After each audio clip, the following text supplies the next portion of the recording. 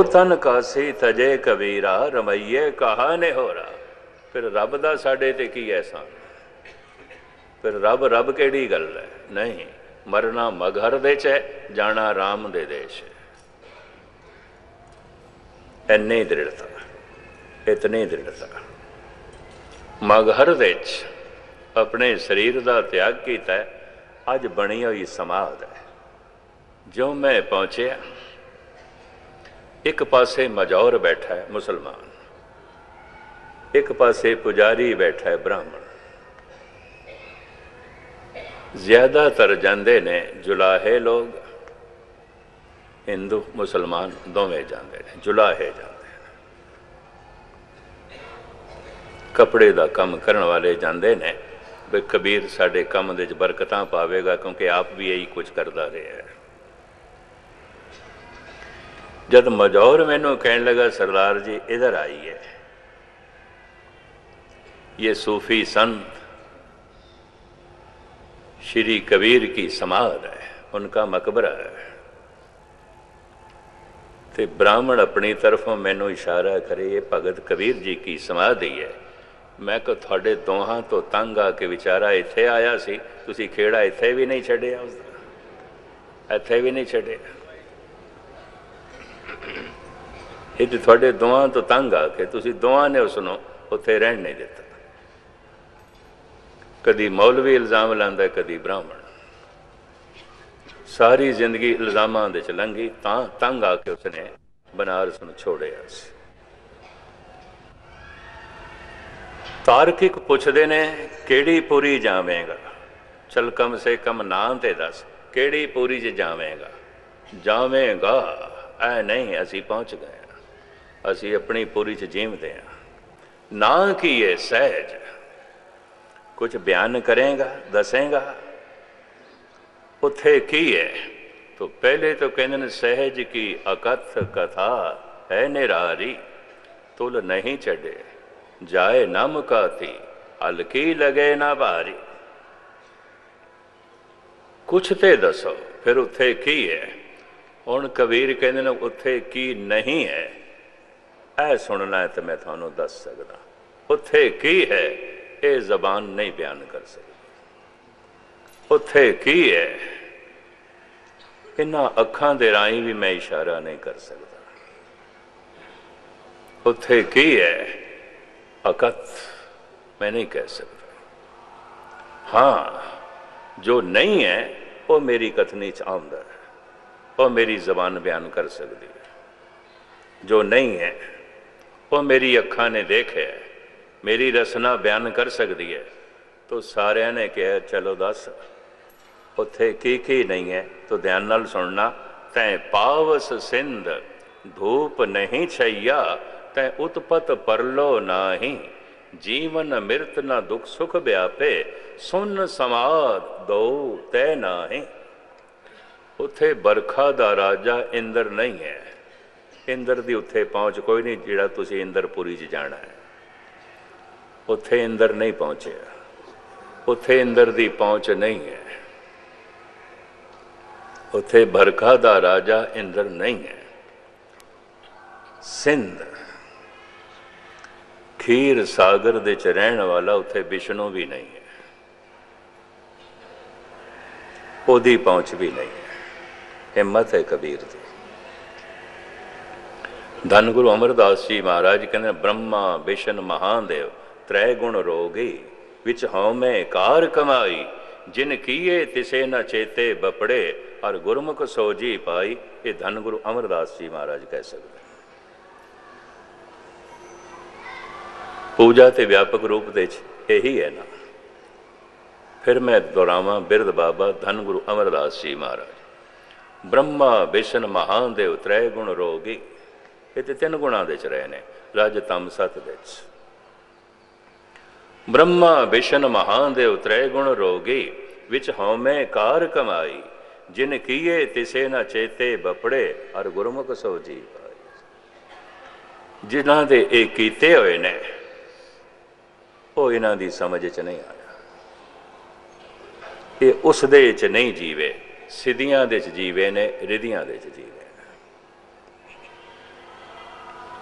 ਇਹ ਉਸ ਦੇ ਚ ਨਹੀਂ ਜੀਵੇ ਜਿਸ ਨੇ ਕੀਤਾ ਜਿਸ ਨੇ ਬਣਾਇਆ, ਜਿਸ ਤੋਂ ਇਹ ਆਏ ਨੇ। ਉਹ ਵੇਖੇ ਐਨਾ ਨਜ਼ਰ ਨਾ ਆਵੇ। ਉਹ ਤੇ ਵੇਖਦਾ ਇਹਨਾਂ ਦੀ ਨਿਗਾਹ ਉੱਥੇ ਤੱਕ ਨਹੀਂ ਹੈ। ਗੁਰੂ ਨਾਨਕ ਪੈਰ ਮੁਖਤਸਰ ਮੈਂ ਅਰਜ਼ ਕਰਾਂ ਤੈ ਪਾਵਸ ਸਿੰਧ ਧੂਪ ਨਹੀਂ ਛਈਆ। ਉੱਥੇ ਸੂਰੀਏ ਲੋਕ ਨਹੀਂ ਹੈ, ਉੱਥੇ ਚੰਦਰ ਲੋਕ ਵੀ ਨਹੀਂ ਹੈ। ਜਿੱਥੇ ਦਾ ਮੇਰਾ ਵਾਸਾ ਹੈ, ਉੱਥੇ ਚੰਦਰ ਲੋਕ ਦੀ ਵੀ ਪਹੁੰਚ ਨਹੀਂ ਹੈ, ਉੱਥੇ ਸੂਰੀਏ ਲੋਕ ਦੀ ਵੀ ਪਹੁੰਚ ਨਹੀਂ ਇਹ ਵੀ ਲੋਕ ਮੰਨੇ ਨੇ ਮਰ ਕੇ ਇੱਥੇ ਵੀ ਵਸੇਬਾ ਮੰਨਿਆ ਰਹਿੰਦੀਆਂ ਨੇ ਰੂਹਾਂ, ਇਤਨਾ ਤੇ ਮੰਨ ਸਕਦੇ ਆ ਜਿਵੇਂ ਇੱਕ ਮਹਿਕਮਾ ਹੁੰਦਾ, ਉਹਦੇ ਚ ਰੁਤਬੇ ਹੁੰਦੇ ਨੇ 4th class 3rd class, second, first, ਪੂਰਾ ਵੱਡਾ ਅਫਸਰ ਇਸ ਤਰ੍ਹਾਂ ਰੂਹਾਨੀ ਮੰਡਲਾਂ ਦੇ ਚ ਵੀ ਹੈ। ਜਿਤਨੇ ਚਿਰ ਤੱਕ ਕੋਈ ਸਹਿਜ ਜੇ ਨਹੀਂ ਪਹੁੰਚ ਜਾਂਦਾ, ਥੱਲੇ ਰਹਿੰਦੇ ਨੇ। ਤੇ ਉਹ ਜਿਹੜੇ ਥੱਲੇ ਰਹਿੰਦੇ ਨੇ, ਉਹਨਾਂ ਦਾ ਜਨਮ ਹੁੰਦਾ ਰਹਿੰਦਾ ਹੈ। ਇਬਾਦਤ ਕਰਕੇ ਕੁਝ ਉੱਚੇ ਮੰਡਲ ਉਹਨਾਂ ਨੂੰ ਨਸੀਬ ਹੁੰਦੇ ਨੇ, ਲੇਕਿਨ ਉਹਨਾਂ ਦੇ ਉਹ ਪੁੰਨ ਸਮਾਪਤ ਹੋਣ ਤੇ ਫਿਰ ਜਨਮ ਹੁੰਦਾ ਹੈ। ਤੇ ਜਨਮ ਤੋਂ ਇਹਨਾਂ ਨੂੰ ਇਹਨਾਂ ਚੀਜ਼ਾਂ ਦੀ ਪ੍ਰਾਪਤੀ ਹੁੰਦੀ ਹੈ। ਕਿਹੜੀਆਂ? ਸਾਰ ਕਿਤਾਬਲੀ ਦਾ ਕਰਤਾ ਕਹਿੰਦਾ ਸ਼ੁਭ ਕੁਲ ਜਨਮ। ਇੱਕ ਤੇ ਉਹਨਾਂ ਦਾ ਜਨਮ ਬਹੁਤ ਅੱਛੀ ਕੁਲ ਦੇ ਚ ਹੋਵੇਗਾ।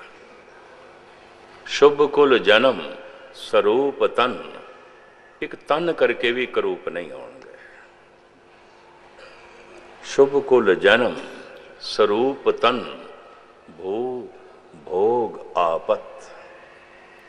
ਹਰ ਤਰ੍ਹਾਂ ਦੇ ਪਦਾਰਥ ਜੋ ਲੋੜਵੰਦੇ ਨੇ, ਉਹਨਾਂ ਦੇ ਕੋਲ ਹੋਣਗੇ। ਹਰ ਤਰ੍ਹਾਂ ਦੇ ਜਿਹੜੇ ਦੁਨਿਆਵੀ ਰਸ ਨੇ, ਉਹਨਾਂ ਕੋਲ ਕਮੀ ਨਹੀਂ ਹੋਵੇਗੀ। ਹਰ ਤਰ੍ਹਾਂ ਦੀ ਵਿਪਤਾ ਤੋਂ ਵੀ ਉਹ ਬਚੇ ਹੋਏ ਹੋਣਗੇ। ਬਚਦੇ ਰਹਿਣਗੇ। ਸ਼ੁਭ ਕੁਲ ਜਨਮ, ਸਰੂਪ ਤਨ, ਭੂ, ਭੋਗ, ਆਪਤ, ਪੰਡਤ ਦੇਹੀ ਅਰੋਗ ਪੁੰਨ। ਧਰਮ ਜਾਨ ਫਲ ਸਤ, ਇਹ ਸਤ ਸੌਗਾਤਾਂ ਪੂਰਬਲੇ ਕਰਮ ਦੀ ਮੰਨ ਲੈਣੀਆਂ ਚਾਹੀਦੀਆਂ ਨੇ। ਪੰਡਤ ਵਿਦਵਾਨ ਹੋਵੇਗਾ। ਬੜਾ ਰੋਸ਼ਨ ਦਿਮਾਗ ਹੋਵੇਗਾ। ਦਾਰਸ਼ਨਿਕ ਚਿੰਤਕ ਫਿਲਾਸਫਰ ਹੋਵੇਗਾ। ਹਰ ਗੱਲ ਨੂੰ ਗਹਿਰਾਈ ਨਾਲ ਲਵੇਗਾ। ਪੰਡਤ, ਦੇਹੀ ਅਰੋਗ, ਉਹਦੀ ਦੇਹੀ 'ਚ ਕੋਈ ਅਸਾਧ ਰੋਗ ਨਹੀਂ ਹੋਵੇਗਾ ਜਿਹੜਾ ਸਾਧਿਆ ਨਾ ਜਾ ਸਕੇ। ਜਿਹਦਾ ਇਲਾਜ ਨਹੀਂ ਹੈ। ਇਸ ਤਰ੍ਹਾਂ ਦਾ ਉਹਨੂੰ ਕੋਈ ਅਸਾਧ ਰੋਗ ਨਹੀਂ ਹੋਵੇਗਾ ਪੰਡਤ ਦੇਹੀ ਅਰੋਗ ਧਰਮ ਜਾਨ ਫਲ ਸਤ ਪੁਰਬਲੇ ਧਰਮ ਪੁਰਬਲੇ ਕਰਮ, ਮੁਕਤੀ ਨਹੀਂ ਮਿਲੀ, ਸਹਿਜ ਤੱਕ ਨਹੀਂ ਪਹੁੰਚ ਸਕਿਆ। ਫਿਰ ਜਨਮ ਹੋਇਆ, ਇਹ ਸਤ ਚੀਜ਼ਾਂ ਤੇ ਉਸਦੇ ਕੋਲ ਹੋਣਗੀਆਂ। ਸ਼ੁਭ ਕੁਲ ਜਨਮ, ਸਰੂਪ ਤਨ ਭੂਪ ਭੋਗ, ਆਪਤ ਪੰਡਤ ਦੇਹੀ ਅਰੋਗ ਪੁੰਨ, ਧਰਮ ਜਾਨ ਫਲ ਸਤ। ਇਹ ਐਵੇਂ ਨਹੀਂ ਪ੍ਰਾਪਤ ਹੋਣੀਆਂ। ਕਵੀ ਸੰਤੋਖ ਸਿੰਘ ਜੀ ਨੇ ਤੇ ਲਿਖਿਆ ਔਰੰਗਜ਼ੇਬ ਪਿਛਲੇ ਜਨਮ ਵਿੱਚ ਬੜਾ ਵੱਡਾ ਤਪੀਸ਼ਵਰ ਸੀ।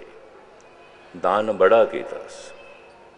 ਪਰ ਜਿਵੇਂ ਆਮ ਕਹਾਵਤ ਹੈ, ਤਪੋਂ ਰਾਜ ਤੇ ਰਾਜੋ ਨਰਕ।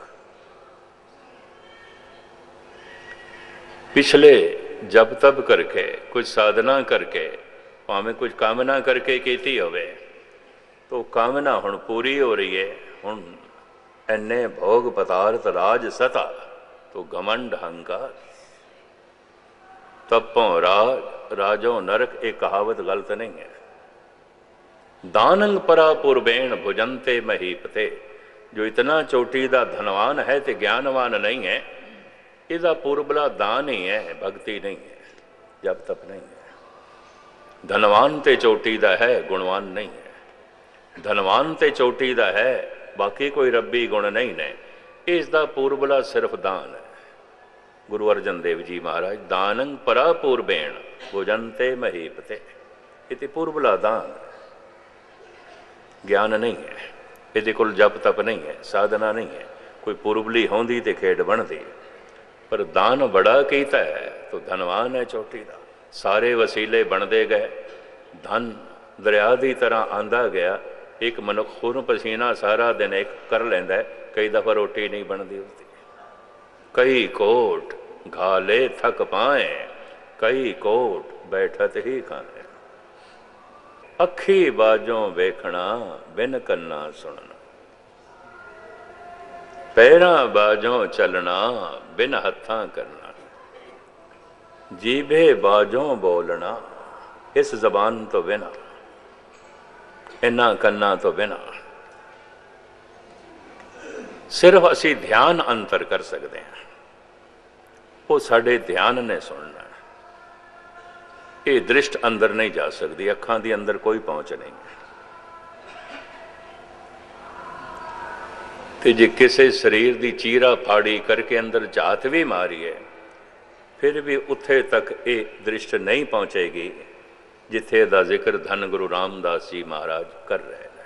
ਨਹੀਂ ਤੇ ਸਾਰੇ ਡਾਕਟਰ ਪਹੁੰਚ ਜਾਂਦੇ ਜਿਹੜੇ ਆਪਰੇਸ਼ਨ ਕਰਦੇ ਨੇ, ਜਿਹੜੇ ਬੜੇ ਬੜੇ ਸਰਜਨ ਨੇ ਉੱਥੇ ਪਹੁੰਚ ਗਏ ਹੁੰਦੇ ਉੱਥੇ ਰੋਜ਼ ਚੀਰਾ ਫਾੜੀ ਪੇ ਕਰਦੇ ਨੇ। ਉਤੇ ਕਦੋਂ ਦੇ ਦੇਖ ਲੈਂਦੇ ਦ੍ਰਿਸ਼ਟ ਉੱਥੇ ਤੱਕ ਨਹੀਂ ਪਹੁੰਚਦੀ। ਉਸ ਅਨਾਹਦ ਨੂੰ ਇਹ ਕੰਨ ਨਹੀਂ ਸੁਣਦੇ। ਔਰ ਉਸ ਮਹਾ ਰਸ ਨੂੰ ਇਹ ਜ਼ਬਾਨ ਨਹੀਂ ਮਾਣਦੀ, ਨਹੀਂ ਮਾਣ ਸਕਦੀ। ਉਸ ਮਹਾ ਸਰੂਪ ਨੂੰ ਇਹ ਹੱਥ ਨਹੀਂ ਪਕੜ ਸਕਦੇ। ਉਸ ਮਹਾ ਸੁਗੰਧ ਨੂੰ ਇਹ ਨਾਸਕਾ ਨਹੀਂ ਸੋ ਸੁੰਘ ਸਕਦੀ। ਐ ਮਨ ਤੂੰ ਉਸ ਨੂੰ ਸੁਣ। ਤੂੰ ਕਿਵੇਂ ਸੁਣੇ? ਮਨ ਬਾਹਰ ਨਾ ਜਾਵੇ। ਤੋ ਇਹਦੇ ਵਾਸਤੇ ਕੀ ਕਰੀਏ? ਕਬੀਰ ਕਹਿੰਦੇ ਨੇ ਮੂੰਦ ਲਈਏ ਦਰਵਾਜ਼ੇ। ਆਪਾਂ ਇਹ ਦਰਵਾਜ਼ੇ ਹੀ ਬੰਦ ਕਰ ਦਿੱਤੇ ਨੇ। ਕਿ ਅੱਖਾਂ ਤੇ ਪੱਟੀ ਬੰਨ ਲਈਏ, ਕੰਨਾਂ ਦੇ ਜਰੋਈ ਪਾ ਲਈਏ ਤੇ ਜ਼ਬਾਨ ਨਾਲ ਮੌਨ ਧਾਰਨ ਕਰ ਲਿਆ, ਕੁਝ ਖਾਂਦੇ ਪੀਂਦੇ ਨਹੀਂ। ਇਸ ਤਰ੍ਹਾਂ ਦੀ ਕੋਈ ਗੱਲ ਨਹੀਂ। ਅੱਖਾਂ ਨਾਲ ਵੇਖਦਾ, ਪਰ ਜਿਸ ਵਕਤ ਮੈਂ ਧਿਆਨ ਸਾਧਨਾ 'ਚ ਬੈਠਣਾ, ਇਹਨਾਂ ਅੱਖਾਂ ਰਾਹੀਂ ਆਪਣੇ ਧਿਆਨ ਨੂੰ ਬਾਹਰ ਨਹੀਂ ਜਾਣ ਦਿੰਦਾ ਇਹਨਾਂ ਕੰਨਾਂ ਰਾਹੀਂ ਵੀ, ਇਸ ਖਲੜੀ ਰਾਹੀਂ ਵੀ, ਇਸ ਰਸਨਾ ਰਾਹੀਂ ਵੀ। ਜ਼ਬਾਨ ਜਪ ਰਹੀ ਏ, ਵਾਹਿਗੁਰੂ ਵਾਹਿਗੁਰੂ ਕੰਨ ਸੁਣ ਰਹੇ ਨੇ। ਇਹ ਤੇ ਇੱਕ ਪਹਿਲੀ ਸਟੇਜ ਹੈ। ਇਹਦੇ ਨਾਲ ਇਹਨਾਂ ਦੁਆਰਾਂ ਨੂੰ ਬੰਦ ਕਰਨਾ ਹੈ। ਥੋੜਾ ਜਿਹਾ ਧਿਆਨ ਨੂੰ ਇਹਨਾਂ ਦਰਵਾਜ਼ਿਆਂ ਤੱਕ ਲਿਆਣਾ ਹੈ। ਇਤਨਾ ਲਿਆਣ ਦੇ ਕੋਈ ਸਫਲ ਹੋ ਜਾਏ, ਅੱਗੇ ਪ੍ਰਮਾਤਮਾ ਆਪ ਖੇਡ ਬਣਾਉਂਦਾ ਆਪ ਖੇਡ ਬਣਾਉਂਦਾ ਉਹ ਮਨੁੱਖ ਦੇ ਵਾਸਤੇ ਖੇਡ ਨਹੀਂ ਹੈ। ਨਹੀਂ ਹੈ। ਇਸ ਵਾਸਤੇ ਨਾਮਦਾਨ ਕਿਸੇ ਕੋਲ ਮੰਗਣ ਨਾ ਜਾਇਆ ਕਰੋ। ਤੇ ਭੁੱਲ ਕੇ ਵੀ ਉਹੀ ਆਖਦੇ ਨੇ ਜਿਨ੍ਹਾਂ ਨੂੰ ਕੱਖ ਦਾ ਪਤਾ ਹੀ ਨਹੀਂ। ਇਹ ਤੇ ਜਪਣਾ ਪਏਗਾ ਆਪਣਾ ਧਿਆਨ।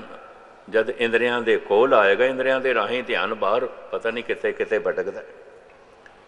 ਪਹਿਲੇ ਇਹਨਾਂ ਦਰਵਾਜ਼ਿਆਂ ਦੇ ਕੋਲ ਆ ਜਾਏ, ਫਿਰ ਉਸ ਪ੍ਰਭੂ ਨੇ ਆਪ ਅੰਦਰ ਪਹੁੰਚਾਣਾ। ਫਿਰ ਖੇਡ ਜੋ ਹੈ, ਉਸਨੇ ਜੋ ਹੈ ਬਣਾਣੀ ਹੈ, ਉਹ ਖੇਡ ਅੰਦਰ ਚੱਲਦੀ ਪਈ ਹੈ। ਇੱਕ ਸ਼ਬਦ ਮੇਰੇ ਪ੍ਰਾਣ ਬਸਤੋਂ ਤੇ ਪ੍ਰਾਣਾ ਚ ਰਮਿਆ ਹੋਇਆ ਅਨਹਦ ਬਾਣੀ ਨਾਦ ਵਜਾਇਆ ਉਤੇ ਵਜ ਰਿਹਾ ਠਾਕਰ ਹਮਰਾ ਸਦ ਬੋਲੰਤਾ, ਜਿਹੜਾ ਸਦਾ ਵੇਖਦਾ ਪਿਆ, ਸਦਾ ਬੋਲਦਾ ਪਿਆ, ਉਹਨੂੰ ਮਨੁੱਖ ਵੇਖਣ ਵਾਲਾ ਬਣ ਜਾਂਦਾ ਹੈ, ਇਹਨਾਂ ਅੱਖਾਂ ਤੋਂ ਬਿਨਾ।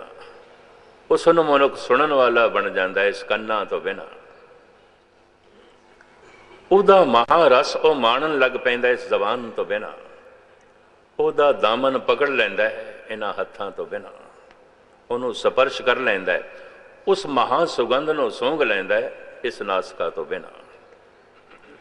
ਕਿ ਜਦ ਕੋਈ ਉਹਨੂੰ ਕਹਿੰਦਾ, ਅਕਥ ਕਰੋ, ਕਥਨ ਕਰੋ, ਕਹਿ ਦਿੰਦਾ, ਅਗਮ ਅਗੋਚਰ ਇਹਨਾਂ ਇੰਦਰੀਆਂ ਦੀ ਪਹੁੰਚ ਤੋਂ ਪਰੇ ਅਕਥ।